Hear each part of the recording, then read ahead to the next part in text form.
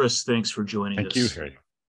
And many of you know uh, Dr. Chris Landon, um, clinical adjunct professor of development and behavioral pediatrics at the Keck School of Medicine at University of Central Southern California, director of pediatrics, Ventura County Medical Center, director, Cystic Fibrosis Foundation Affiliate Center. The list of Chris's work, connections, and commitments is a lengthy one.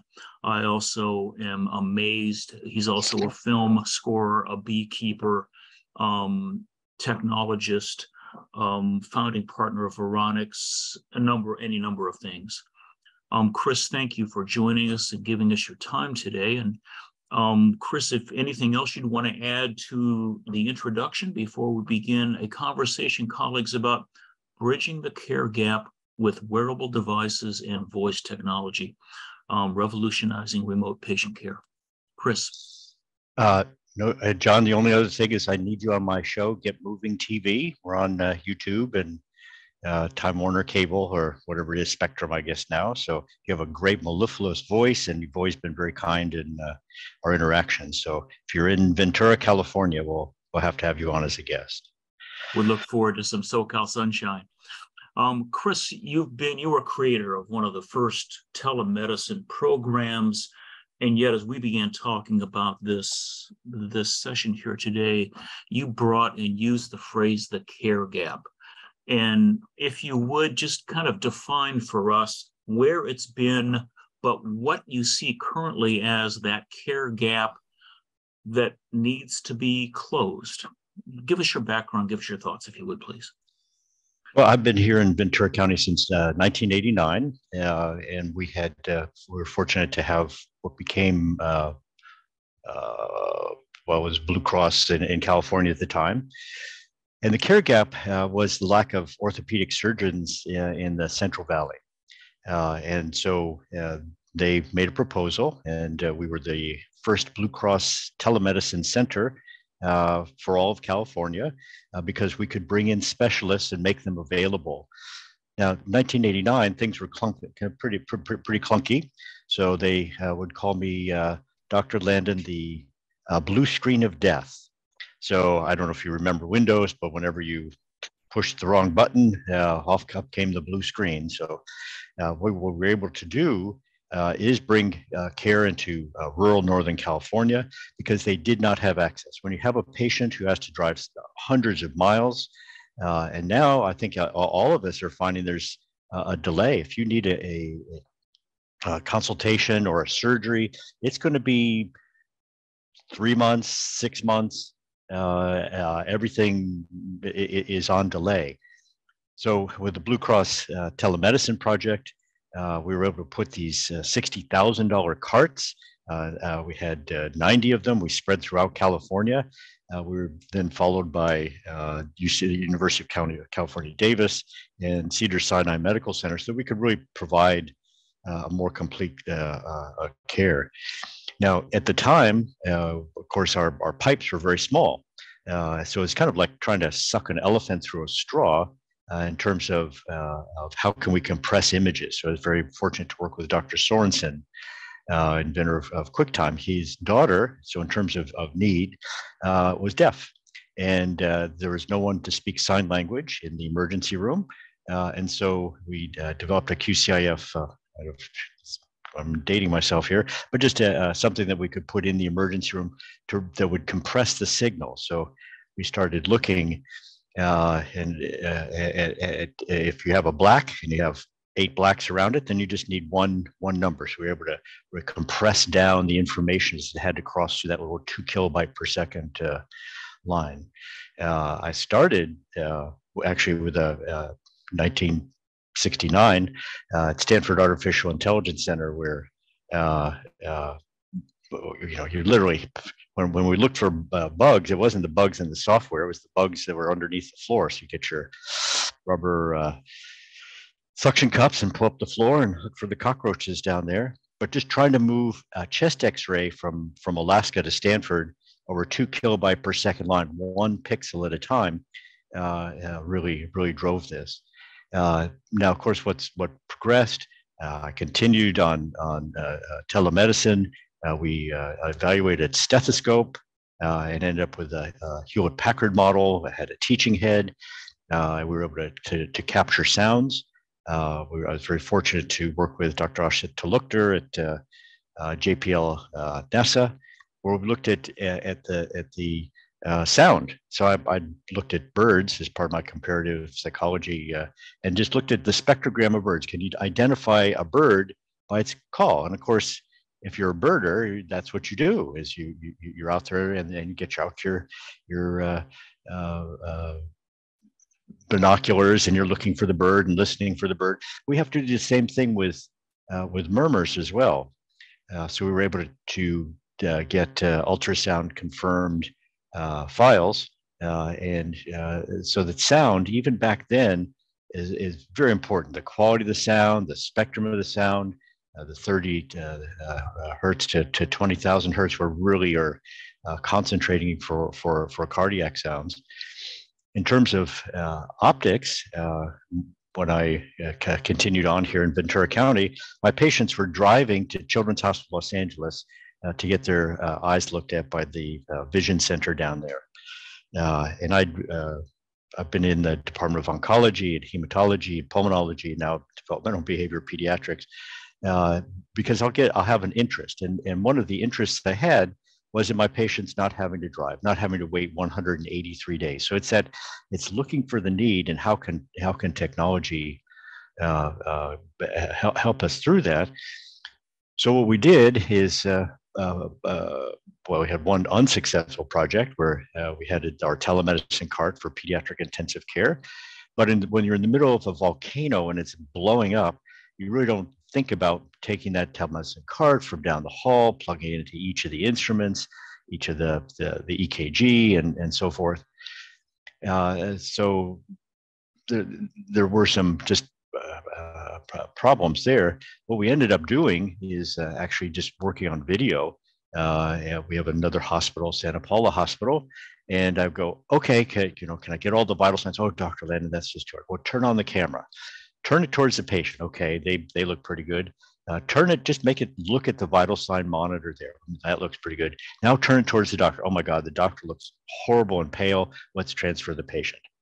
Uh, so the the video is, was important the audio is important the the, the sound and the sound spectrum uh, is important uh, the the device itself the the uh, one of the first electronic stethoscopes uh, now uh, I, I, can I can give it away I mean it's it's three hundred dollars now uh, is now to we're working with the company Medica and eMurmur in terms of this is just something uh, you give away, and it has the same quality uh, as this highly developed stethoscope from from uh, 30 years ago.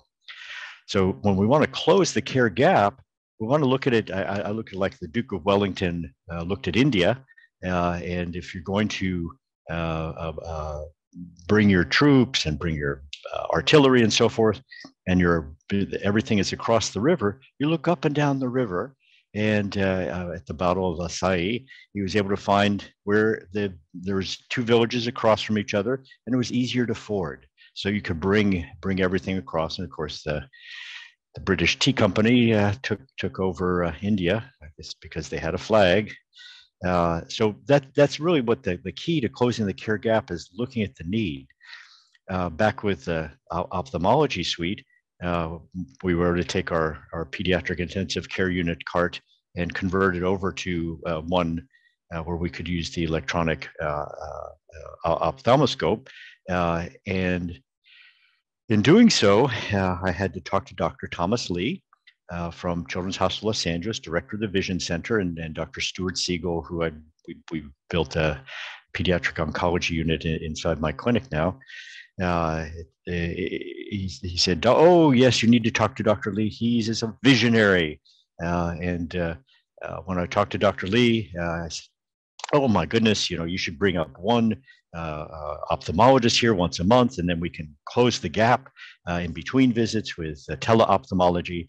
And what he told the Lions Club uh, uh, as we were raising funds to do all this, he said, and when I hung up my phone, I said, that man is crazy. Uh, but he saw it too. You have to close that care gap. Uh, and also, by my patients not having to go down there, it freed up a chair uh, so that that he could see more patients uh, within within the Children's Hospital Los Angeles and Altamed practice. So we want, we want to close the care gap. We're closing it at both ends. We're allowing that chair uh, to be used uh, properly. That's giving access to my patients. It's decreasing the transportation barriers. And when we close the care gap, transportation is big. Uh, my patients, I have patients who fly in from whatever 500 miles away to see me for cystic fibrosis. Uh, if I can follow them up with a telehealth appointment, if I can put a device in their in their uh, uh their uh, house uh, where I can measure pulmonary function with a forced expiratory volume at one second monitor and, and, and find an exacerbation, that makes all the difference in the world. Uh, we want to close care gaps because so many of them are also now around uh, uh, health equity. Uh, if uh, I, I want to have access to a sleep study, lots of luck in the inner city, and and then also there's a uh, mistrust sometimes of, of, doctors. I was just up in uh, uh, Port Townsend, Washington, and someone with private insurance had had a had had a sleep study, and uh, it definitely was abnormal. She was definitely having symptoms, falling asleep in the afternoon, uh, uh, right after work, she'd fall back asleep. Obviously, having symptoms uh, uh, uh, of her sleep deprivation, and the next appointment with the sleep physician to prescribe the CPAP and the proper mask was in 12 weeks. So we'll see if my my mm prescription pad will do that. Sorry, Jon, you got me going. So no, I, Chris, I, I, this should be a dialogue here. Yes, we want sorry. you. We want you to be going. I mean, you talked about various elements of care gap and all, if you will, the you know from sound to visuals and the like that can help close that. You started on this journey in 1989, um, and now here we are, 2023 what has, from a clinician's, from your perspective, what has changed? What has made the gap larger and or more difficult to find that forward across the river to, to keep closing it? What's in front of you now that perhaps wasn't in 89? Well, the, I, I, think uh, I was looked at as a heretic, uh, you know, just that I've been out in the desert with the animals and talking to the animals, and I'd come in and try and push a telemedicine project, a home blood pressure monitoring, and you people roll their eyes. And then uh, uh, there's this thing, what, what happened? Oh, COVID, that was it. So with the Cystic Fibrosis Foundation, uh, they've been very, very supportive through the years. They'd pat me on the head and go, "Oh, you made a website in 1989. What's that like?" Uh, uh, I had a, a, a, a, questionnaire that the patients would fill out ahead of time. So when they came into clinic, they they brought their their questions. So when when the pandemic hit, here's a, a group of patients, 30,000 of them across the United States, with 130 centers and they're not going to be able to visit. They're not going to be able to do pulmonary functions in, in the office. They're not going to be able to, when they're in the hospital, they're at high risk of, of COVID. So we need to be able to manage uh, home IV antibiotics. So uh, since we'd been at it, uh, uh, looking at a little different project, which was transitioning my adolescent patients to an adult service in Santa Barbara, uh, we said, oh, well, what we'll do is we will uh, have them be able to take a walk around the clinic so we'll be able to desensitize them. because the, the thing about uh, uh, uh, chronic diseases and health equity is you, you have uh, uh, what's like a, a, a, a, pastry store and you have this beautiful glass and you've got your fingers up against there and you're just looking at that beautiful pastry on the other side. Uh, so you're, you're out there. and then the next is there's a couple people from your group and they're inside and they're eating pastry so what our, our CF clinic does is it really gives people a sense of belonging. Uh, so that it's, they, they, they know that we are, uh, uh, know what kind of ice cream uh, they like. We know what kind of movies they like. Right now, in terms of, of, of health equity, we're really looking at uh, uh, if I have a video translator, if I don't have someone fluent on my staff, I have a video translator, that's fine.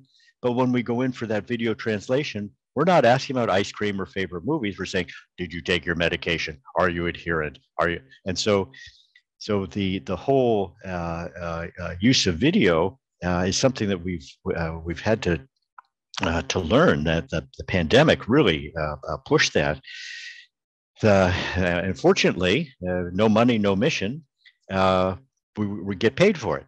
Uh, and so before that, oh yeah, I, the whole Medicare, I, I had uh, uh, the Vivometrics life shirt back in the 1990s. Every breath you take, every move you make, I am watching you. I can do home sleep studies. Each device uh, would cost uh, about oh, $1,500. I had a $100,000 prototype of it, uh, respiratory inductive plethysmography, and recording into a little Palm Pilot. I don't know if you even remember Palm Pilots, but that was our uh, and uh, had uh, my one of my devices we're using it in a, a child, and they uh, they left with it, and it said "Life Shirt" right across the front. And uh, the, they reappeared about three months later, and the school called me and said, "Dr. Landon, he wore this this fashion device uh, to school, and why did you put life shit on it?" Well, he had a big enough belly; it had, it had rolled up. So, so remote patient monitoring for for something like uh, uh, sleep, being able to do that in the in the inner city, uh, being able to to follow someone with a chronic disease at home for their blood pressure. Uh, uh, we use the scale. I used to use a shoebox, and I'd go, okay, well, I can I know I can take pictures. So if you're in congestive heart failure, let's take a picture of you when you're completely uh, using your uh, Lasix and, and your body is removed of the excess water, your heart is saying, "Oh, I need to expand the chamber so it, it, it contracts better, but it doesn't." Uh, and so then I could see, oh, now I, have got a digital scale uh, at home uh, for the blood pressure. We have white coat hypertension. I had uh, I used to take more adults than I we need to increase your medication. Of course, they'd fall down at home because at home they're not seeing the white coat, uh, and so their blood pressure would be down. So be able to monitor them uh, uh, in the home. And so what we've seen uh, is the payment mechanism, which again, no money, no mission. There are states who are looking, gosh, telehealth eh, looks like a we're not quite getting what we want, so we'll, we really have to work hard to maintain that. Uh, in my own office, when it, eh, much like uh, having to drive uh, down to Children's Hospital Los Angeles, carrying, you know, cover me, I'm going to make a turn. I mean, LA is a dangerous place. Uh, uh, I can follow my patients at home. I can do that quick follow up visit without them having to take four kids on a bus, three three different exchanges, uh, and, and I, I, can I can do that follow up visit. Uh, so it's not just desensitize them as we were with the cystic fibrosis. Here's your new team. Here's the new team that you're going to be belonging to. Uh, but it's also once you have that relationship, being able to follow them. And when I see patients in their home, and I, I say, "Hey, open your refrigerator." If I see no food in there, but th- that makes a big a big difference for someone I'm trying to get uh, to have proper nutrition. Or when I see a beautifully well kept home uh, in, a, in a mother who I'm not sure if she's really understanding uh, what it is that I'm trying to, to, to, to get done, it, it, makes a big difference. Chris, Chris, let me interrupt you and just and please perhaps um, dial in a bit more on. You've used the term health equity a number of times in this conversation, and I know that that topic is, you know, Freddie Yared, um, Emery, David. This the topic of health equity very important to so many on this call. You've raised it, Chris, a number of times, and you see this as not only closing the gap, but closing a very important gap, um, one perhaps under pursued in terms of bringing greater um, greater care, better outcomes to certain populations. Speak a bit more about that and the importance of overall remote patient care, and then perhaps specifically less expensive means of providing that patient care? Well, I think uh, I'll just uh, I'll, I'll, circle back to sleep apnea. Uh, so in the inner city, uh, uh, we don't have great access to docs. We don't have great access to sleep docs. We don't have great access to sleep centers, uh, and we have have a, a basic lack of trust. So building up within the inner city, within the Latinx and Black population, really supporting support groups to yes, this is this is going to make a, a difference for me. We we worked with Aetna uh, around uh, uh childhood obesity, and uh, uh, one of the one of the churches had come up with a, a, proposal for Aetna, which is a beeper, and on the beeper it said on Sundays it would go off right after right after the the services, and it would go, hey, don't don't eat the fried chicken, eat the turkey. Uh, st- you know, stay away from the macaroni salad, go for something more. Uh, but it was so annoying. Most people just threw it in the toilet and tried to flush it down. So, so finding that, uh, that the, the appropriate way uh, uh, of support. So sleep, sleep is a big one. Right now, we're looking at, at, at uh, with cystic fibrosis, which is a, a, when I started was you were dead by age two, and then we got it to age 12 and then 19. And I would go to, this is back, gosh, early 80s, I would go to funerals of teenagers every winter. Uh, and the teenagers would go, it's just terrible. And they'd be going to clinic together for 10, you know, 15, 20 years. And all of a sudden, whoever they kissed three years ago is now no longer coming to, uh, uh, no longer coming to clinic. So for this particular disease, uh, this was one of the first ones where we looked at the genome and we were able to uncover inside the genome uh, defects in DNA. And uh, they, they did something called venture philanthropy. They put out a, a grant saying, okay, we have $60 million. We'll, what have you got? And uh, a company uh, had a drug that didn't work for Alzheimer's, that didn't work for type 2 uh, dementia. And they go, oh, what the heck, we'll throw it in. And it worked. It fixed an underlying defect uh, put 10 pounds on patients, improved their, their uh, ability to breathe 10% uh, or more. So that medication, uh, you know, in terms of healthcare costs, basically my cystic fibrosis patients cost about $60,000 a year with the, the different medications and so forth. That drug is, what do you think, 100,000, 150, 200,000, 250, $325,000 a year.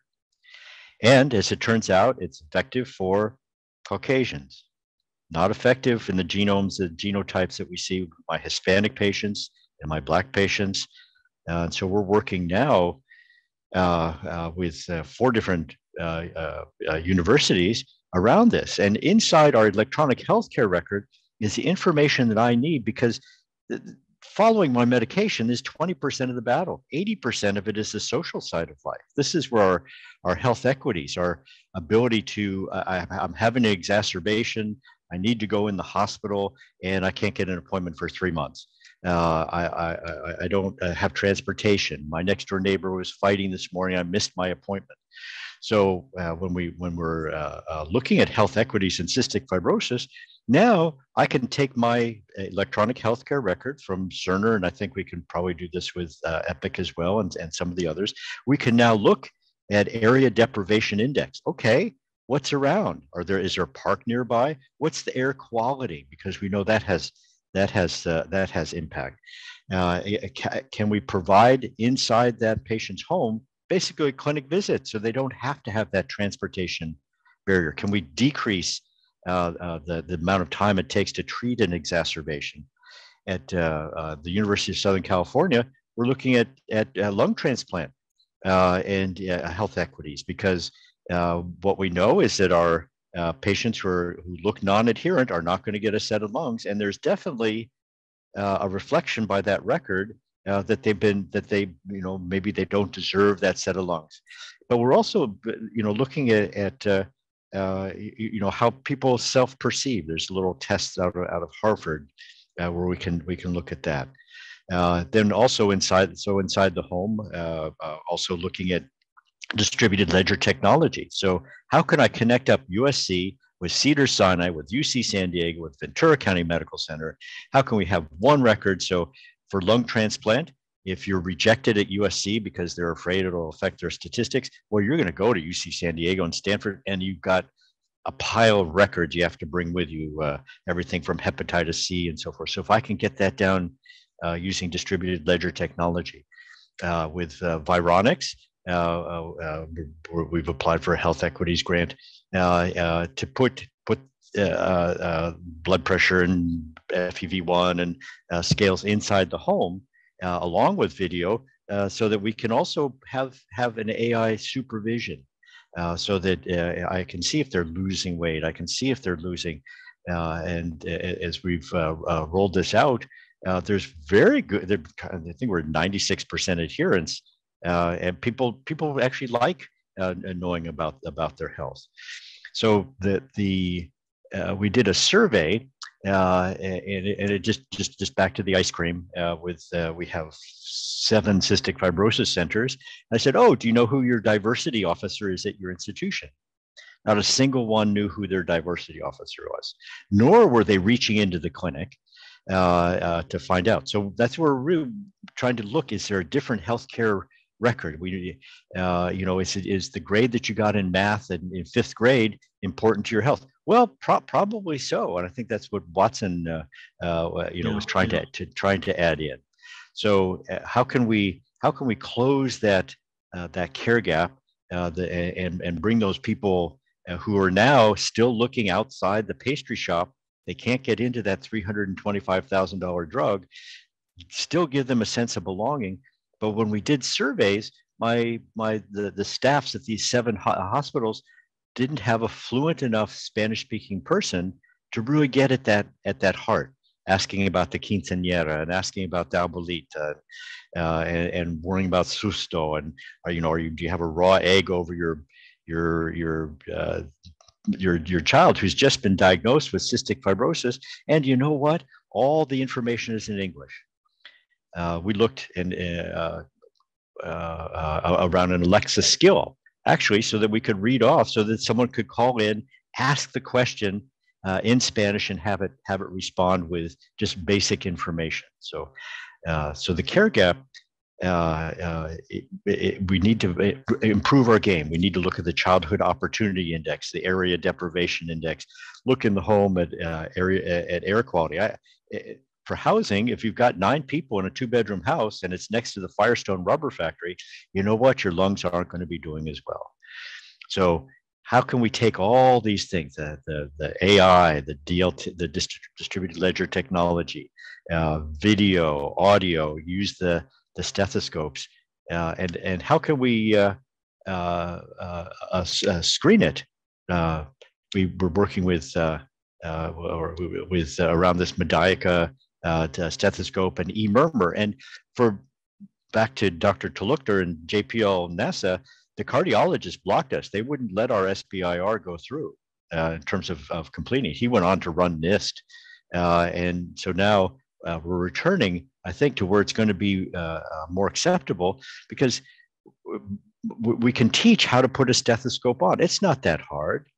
Uh, we have a very good satisfaction uh, with the with the proper placement, and, and that the the cardiologist feels like, okay, if we can get a baseline, and all of that baseline has to say with an AI uh, evaluation of the murmur is, see the cardiologist. No need to see the cardiologist because there's a lot of a lot of uh, you know if you have uh, children or grandchildren the doctor found a murmur and then you go to the cardiologist and get your $1500 echo and it's oh it's an innocent murmur well uh, I, I, I, trained with uh, uh, Dr. Moss, who's a pediatric cardiologist who wrote the book and has an auditorium after named after him, and he said, you know, sometimes it pays to be a wee bit deaf.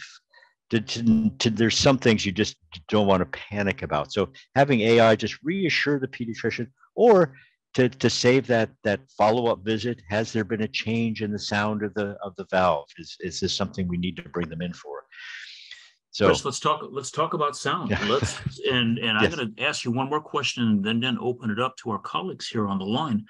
Um, but let's talk about audio. Let's talk about voice. Let's talk about sound. Um, you've you mentioned eMurmur. You've talked about, um, you know, Kivo Health and Vivometrics and CapMedix and any number of audio sound technologies tell us where you see that great value coming and then let's just talk about voice and what you see as the future of voice in this then we'll open up for questions i think uh, i'll just start with the circle plus monitor i can do a home sleep study uh, on a ring and it's a it's equivalent to an in-office uh, in, in, in lab study. So I put put this ring on, uh, charge it for an hour and a half, and I, I have results. And I'm able to follow. Uh, we have a project coming up in uh, Cleveland where we'll be following pregnant women. Uh, we'll be following 1,700 uh, inner city pregnant women. Uh, but the, the, instruction book is it's got teeny tiny print. So built as part of the app is instructions that you can hear. so, and I was just with 97 year old uh, uh, putting this on him and uh, Dick Van Dyke. And yeah, he had trouble reading reading it. He pointed to his 50 year old wife on the treadmill. She said, "Oh, we'll have her read it." Oh, that's how you live to be 97. Yes, Dr. That's how I live to be 97. So having the having that combination of a visual uh, uh, uh, with that tool that you can write on both sides and lasts over a thousand years called paper, uh, but having it augmented in terms of instruction. With CapMedix, we have a talking inhaler. And so I, I, if you've ever seen the, the, the uh, house episode where my inhaler is not working. I'm using it just like the pharmacist showed me. And of course, she sprays it out into the air, which is what the pharmacist did. Uh, so this inhaler talks to you and you, you, shake, shake, shake, shake, shake. So you hear this little shake, shake, shake, shake, shake, and then makes you inhale it for the proper amount of time. Uh, and so we were able to, to I, I, again, by having that augmentation with instructions connected to a device, that device goes to Bluetooth, goes to a, a, a a portal where the doctor can can follow how how compliant you are. Uh, and then it, we're talking about Vivometrics, the company, uh, the AI uh, company that I, I, helped found. This is an Oxford University set of mathematicians, uh, and just moving them into the practical uh, uh, parts. And so they're they're still, you know, looking at the market, and and we have billing occurring, and Medicare is actually paying for the the, the whole system. Uh, but I just got a voice survey. And so it wasn't just wasn't just fill out this survey and you'll get, you know, a $25 card, which I, I get, I don't know, 10 or 12 of those a day. Uh, for reasons that I, will find out, uh, your responses were by voice. You had to click the voice and it wanted 30 seconds at least. So I don't know if they're measuring uh, uh, timbre or that they're they're going to they're finding that there's uh, better adherence uh, to answering the questions. Uh, but voice, it, uh, when when this first came up, I go, no, that voice, I don't know, because we do see a lot of things, things coming out of, uh, you know, is it a, a measure Alzheimer's, uh, Parkinson's disease? Uh, how can we how can we use voice for early detection of, of Alzheimer's five years before? How can we follow the effect of, of Parkinson's medications? how can we work on on all these things? uh, and a lot of them are, cutting edge, and the companies will will will, will fall away. Uh, but really, it's being incorporated again in, in instructions, uh, uh adherence. Uh, the heart sound uh, to me is a heart talking to me. the voice survey, it's being incorporated in a lot of different areas now, and, and this is a very valued and valuable project you have here.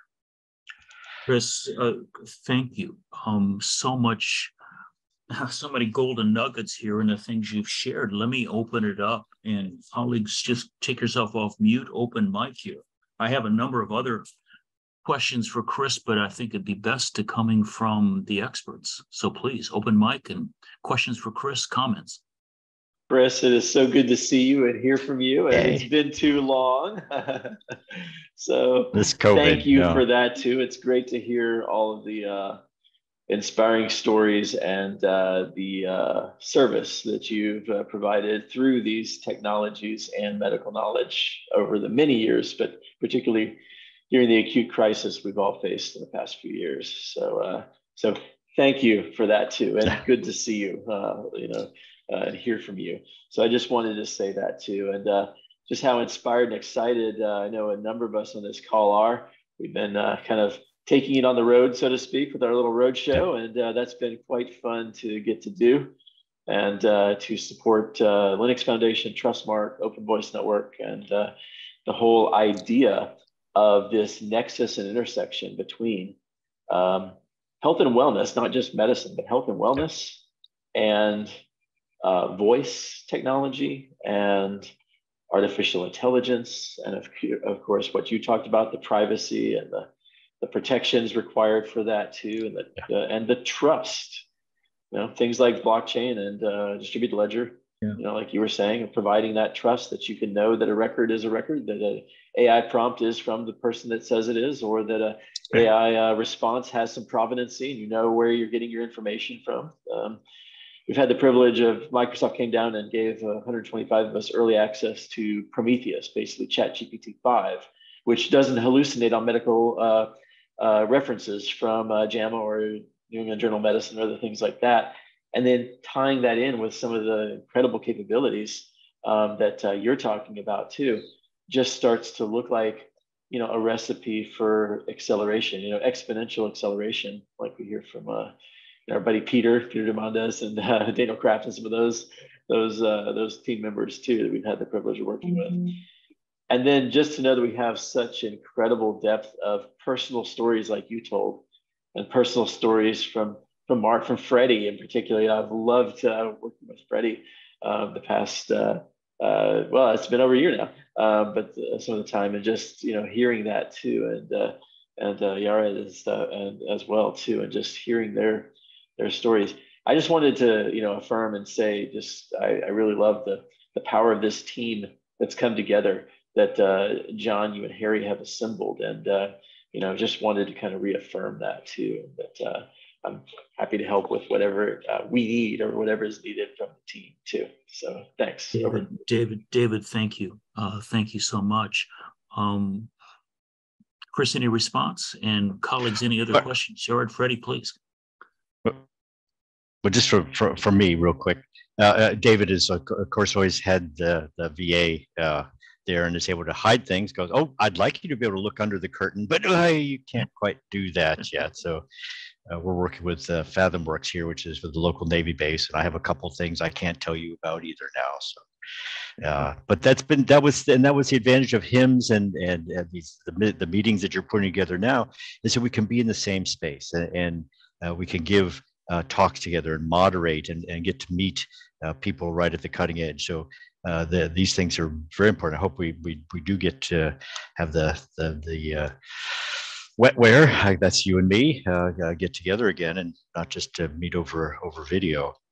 So yeah, the other thing we do is uh, the, it is a, we, are in American Samoa. I'm in the Northern Marianas Islands, uh, again with equipment, and we're down to a clinic in a bag. So again, the advantage of the tools uh, is they are less expensive. We're working with, I won't say Dollar General loud, so you don't hear that, uh, but just they are looking the same. We're looking at the American South, and we're looking at, at, at, at uh, they may be sleeping on the floor, but they've got a cell phone. Uh, and so, what can I sell out of Dollar General that's a screen that gives health information that I can put by the refrigerator about uh, menus. I can get a scale in there that's a $12.50 scale. I can get a blood pressure cuff that's a $12.50 blood pressure cuff. Uh, they've knocked out all those stupid cough medicines for kids because they never worked unless they were 20 proof or more.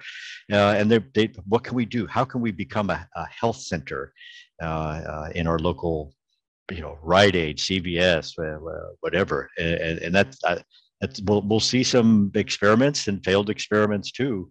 Uh, but we really need to get in terms of health equity, get the price down, get it, get it in people's homes, uh, make it pleasant enough so that it's, it's a no-brainer, it's adherent, and voice I think is going to be uh, be key to that as well. Chris, thank you. Other questions? Comments, questions?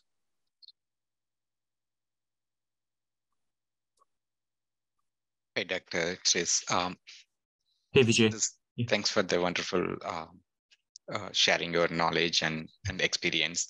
Uh, one question from the clinician aspect, um, we have a two type of um, call or maybe appointment with the doctor. One is a telephone only appointment and another one is a video appointment.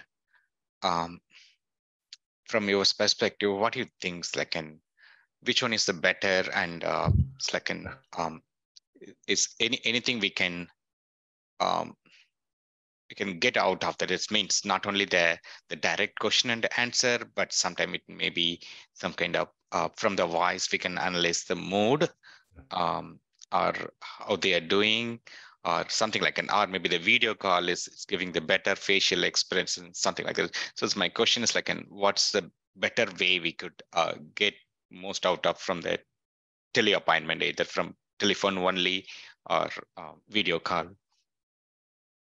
I think the first is no money, no mission. So here in uh, California, they're moving uh, voice call. They're not going to pay for anymore. They just go, oh boy, we got all these doctors out here who'd love to commit fraud. Uh, uh, uh the the uh, FBI actually became involved in my healthcare system, and they were feeling there was some healthcare fraud going on.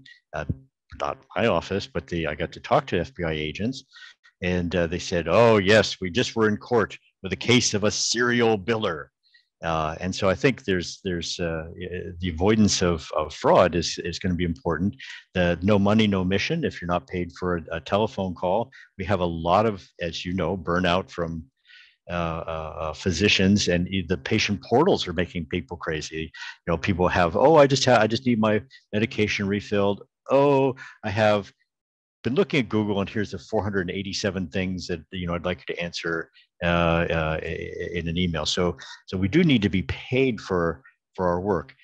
Uh, we've and people have to make the time for the call too. I mean, I've talked to people while they're pushing their dog around Walmart. Uh, what the heck does this have to do with, uh, you know, you making time for for this? Uh, and when we did with USC, we did counseling for diabetes uh, by phone and, and, made the arrangements. And uh, by the third call, ah, we got a better things to do. We're not not interested. So we have to be able to engage the patient uh, in, in, this dialogue. It has to be uh, uh, timely for them as well. If they're sitting by the phone for two hours because we're busy in the office, so it needs to be a, a, a, a timely appointment. For uh, for me, I like the video be, for the exact reasons that you're talking about. I can see the expression on their face, much like back to my intensive care unit and $60,000 worth of equipment. I just need to look at the patient, the monitor, and the doctor. And if any one of those three is uh, not doing well, we're, we're in trouble. The uh, uh, David can probably speak to this as well. There's there's there's Department of Defense uh, technologies out there uh, in terms of threat uh, det- detection that are very sophisticated, and our Israeli uh, friends are very uh, uh, sophisticated with this as well. So, you know, what what's what's the point of having a human involved at all? I mean, we've got Chat GPT, you know, 82 coming out, and we had a set of doctors who went to to, to Chat GPT uh, and said, I need to be more compassionate with my patients. Can you give me some advice? Oh my gosh, you know, what are we being, what, what, what is the necessity of a doctor at all? Uh, uh, and that is, you know, that it's that engagement uh, with the patient. It's knowing the patient's social history, and you know, we're we're back. Hopefully, we're getting back to the buggy days. you know, we're we're out and we know the family. We've known them for 20 or 30 years. Uh, and we know about grandma and why they're worried that you know we're going to die of the same thing as grandma. Uh, now, is there a difference between but you know a, voice conversation a video conversation be able to look in refrigerators and look at look at the patient. Uh, and then in terms of visual cues that's that's that's uh, very possible. Uh, we we were doing a project with the world health organization management project. This was back uh, it was nigeria and hiv and uh, we were trying to do facial recognition. And uh, actually if you put spock ears on the, the facial recognition is disturbed. Uh, so we were doing uh, retinal uh, uh screening uh, as, as, a way to follow the patients as they move from village to village in terms of, uh, of HIV medication. So the video to me is important. We have two that, you know, and I think Microsoft will take over the world there. we use Doximity and, and FaceTime. Doximity is terrible their, their compression's terrible. Uh, we uh, we have uh, uh, Zoom was very important in that they what they did is they just bought repeater towers uh, just all over so that they had a good signal all the time. and so with Doximity, if they haven't done that, if your nose is in Chicago while your ear is in Philadelphia, that's just not a good video conversation. If you have any problem in terms of connecting, that's that's not a good conversation. So I think we have to solve uh, solve the connectivity. We have to for the United States. We need to to solve some of the mechanical things. We need to solve uh, some of these uh, uh video apps. Uh, but in in your experience, what, what which do you prefer? Um. Yes, it's uh, it's sometimes it's like Sorry. an yeah. It's it's my experience is a telephone call. It's like an uh, it, it's it's it's it's kind of what kind of problem we are discussing that may be um, put into context. But my experience as a patient, I have a I had a multiple telephone call. It's mostly the education aspect. They can call and discuss about uh, my health conditions and and give some education on that. But it's not an uh, provider communication. Maybe some time provider assistant or nurse assistant um, they're getting. So that, that's my experience. Yeah, and, and that's it's a problem. I mean, we, we, we don't have many doctors. We're all dropping out or dropping dead. It's not. Uh, this, this is uh, the electronic healthcare record and these patient portals are really. You know, I had a, a Christmas card from a grandfather said, "Dr. Landon, uh, my my daughter, who's one of my pediatricians, has not been able to to read to her daughters in bed for a year. You have to fix this." So we worked on on fixing that. So we need, uh, you know, if we're using technology, if that can improve things, if we can get us out of office on time, uh, and, and we can feel uh, that we're we're uh, ha- having a, a complete uh, healthcare role in there. I think you know I used to say that uh, uh, physicians were physician extend physician assistant extenders because they're they're seeing all the patients, and we're going to be AI extenders. I think uh, and AI may be better than us in terms of, of compassion. Yikes. Thank you. Just a few, uh, just a few minutes left, colleagues. Any, any final questions for Chris?